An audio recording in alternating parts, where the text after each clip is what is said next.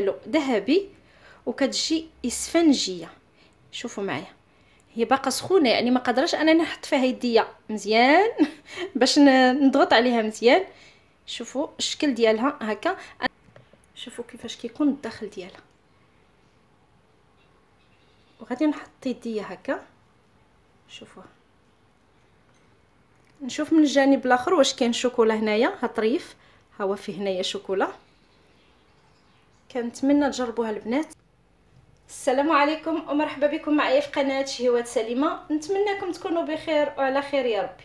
وصفتنا لهذا النهار غتكون brioche سائل. غادي نديروه في واحد ال moule ديال الكيك. أنا غنسميه كيك brioché أي moule يكون عندكم دائري. ماشي بالضرورة أنه يكون على هذا الشكل هذا غير يكون ال moule دائري. غادي نحتاجوا لهذا الكيك brioché غنحتاجوا ليه هنا نص كاس ديال زيت نباتية ونص كاس ديال السكر سنيدة أو سكر حبيبات كاس ديال الحليب وكاس ديال الياغورت بدون نكهة. هذا طبيعي. عندي جوج بيضات ومعلقة صغيرة ديال الخميرة معجونة. غادي ندير معلقة صغيرة وشوية ديال ال vanille باش غادي نسم وغادي نزيد نعزز النكهة. عفوا هنايا بالقشور ديال البرتقال والحامض كانوا عندي في المجمد. كنت خديتهم من واحد المركز ديال العصير البرتقال والحامض خدمناه مع بعضياتنا. هنايا عندي شوية ديال الملحة باش كنصحوا الذوق وعندي هنايا خمارة وربعة ديال الدقيق الفورس أول حاجة كنبداو بها كندهن المول ديالي هنا دهنته بالزبدة وكنرشو بالدقيق على هذا الشكل. وغادي نديه للمجمد يعني هذه المرحلة الأولى دائما كنبداو بها. ونحطو في المجمد باش ملي كنساليو الخدمة ديالنا كيكون هذا واجد وكطيح لينا البريوشة أولا الكيكة كتنزل بسهولة. كنجيب هنايا واحد زلافة أولا إناء اللي غادي نخدمو فيه. بسم الله كنبداو البيض هو الأول. غنحتاجو لا خلاط كهربائي ولا batteur غير بال fouet.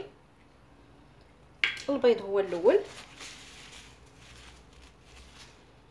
غادي نضيف ليه نص كاس ديال السكر سنيدة. وغادي نبداو نخدمو غير بال fouet هكا.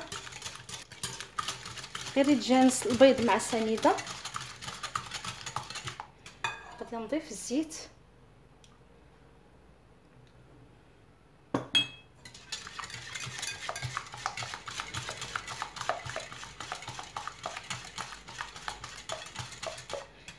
غادي نضيف الحليب.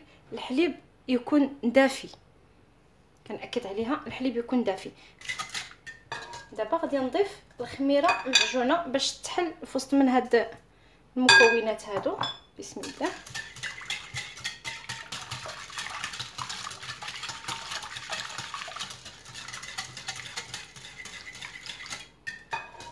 غنضيف الياغورت قلت بدون نكهة. يعني المكونات كاملة نخرجوها من الثلاجة. على اتساع لأن هذا brioche ماشي كيك.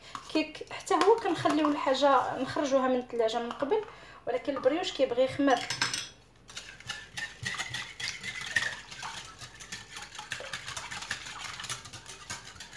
ما نساوش القبيصة ديال الملحة. غير باش كنصحوا الذوق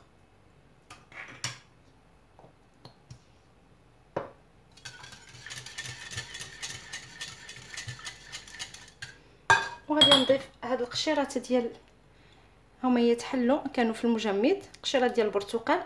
أنايا تعمدت ندير قشور ديال البرتقال والحامض. علاش؟ لأن غادي نزينوها بالشكلاط أنا ما ذكرتوش ما بغيتش نحطو هنايا حتى نبغيوه عاد نجبدو.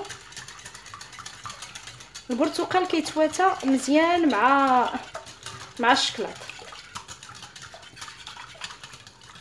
دابا غادي نبدا نضيف الدقيق. الدقيق راه عندي مغربل. كنأكد عليها البريوش كيبغي دائما آه، الدقيق يكون مهوي. لا هو لا الكيك. عندي رابعة 250 غرام ديال الدقيق. غادي نبقى نضيف شوية بشوية.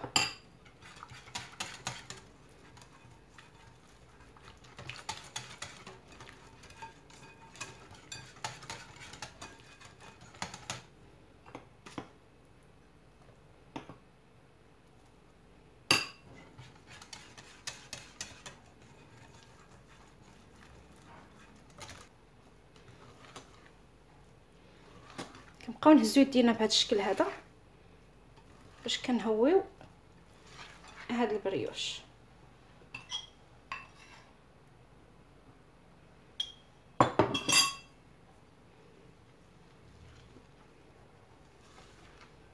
نسيت ما ضفتش الفاني بودرة. أنا غادي نضيفها دابا. كتزيد تعزز ليا حتى هي النكهة. نضيفوها من الأول.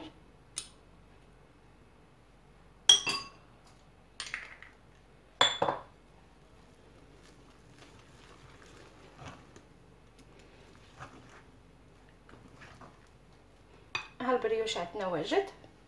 هاد القطرات ديال الخل. دابا غادي نجيب ال moule ديالي. غادي نصب فيه هذا الخليط هذا. شوفوا معايا كيفاش يعني الكثافة ديالو كيفاش داير؟ أنا غادي نجيب ال moule فاش غادي نحطوه؟ كنجيب الخ... هنايا ال moule وغادي نفرغ فيه هاد ال brioche اولا لو كيك brioché. غادي نسرح الخليط. غنجيب حبيبات الشكلاط اللي غنزينو بهم أنايا فضلت ندير حبيبات الشكلاط لأن دايرة القشور ديال البرتقال. ممكن نسمو بشوية ديال الزرارع يعني كنخليوها بلدية ونديروا ليها شوية الزرارع شوية النافع حبة حلاوة. ولكن كنحيدو قشور البرتقال.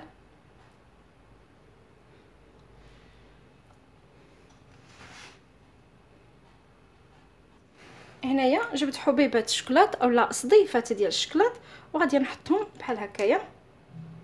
يعني أي نوع عندكم ديال الصديفات ولا غير قطع ديال الشكلاط نقطعهم مربعات وغادي نجيبهم ونحطوهم على هذا الشكل هذا. كيجي هاد البريوش البنات ممتاز وسهل المذاق ديال البرتقال ممكن نديرو حتى معلقة ديال المربى ديال البرتقال. اذا كانوا الوليدات كيبغيو الشكلاط نكثروا شوية بحال هكا وغادي نخليه يخمر على جنب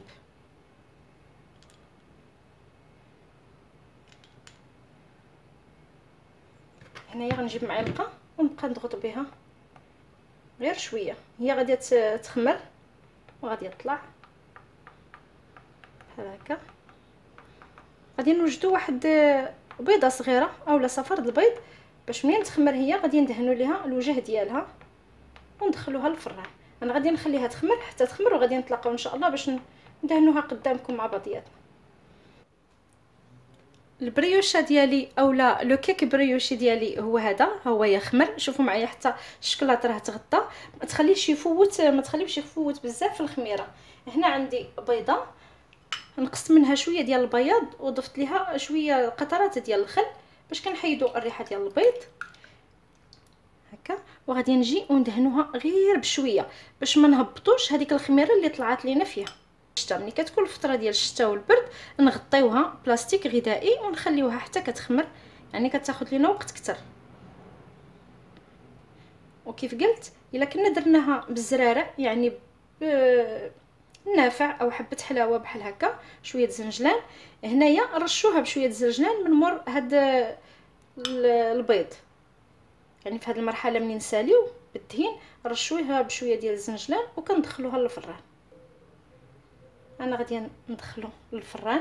دابا حتى كيطيب الفران عندي شاعل على درجة حرارة 180 إلا درنا فرن كهربائي ولا درنا آه، الفران ديال الغاز. كنسخنوه وكنقصوا له شوية وكنخليوها طيب على عافية مهيلة. أنا غنشعل غير آه، الجهة السفلى حتى كيطلع مزيان وكنشعل ليه الجهة الفوقانية باش كيتحمر شوية. البريوش ديالي هو هذا. بعد ما خرجته من الفران شوفوا كيفاش كيجي. اللون ديالو ذهبي وكتجي إسفنجية. شوفوا معايا.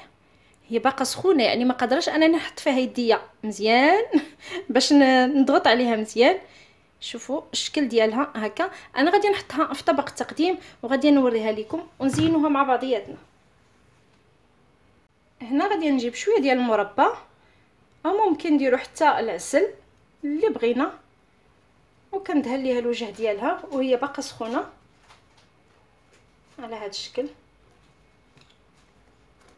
عندي هنا المربى ديال البرتقال. باش كنبقى غادا في نفس النكهة.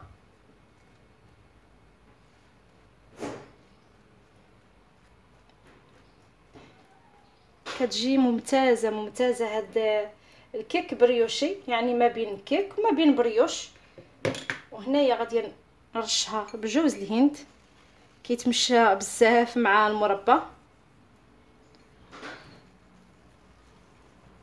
ونقطع لكم واحد الطريف باش تشوفوها كيفاش كتكون من الداخل. نتسنى عليها واحد شوية تبرد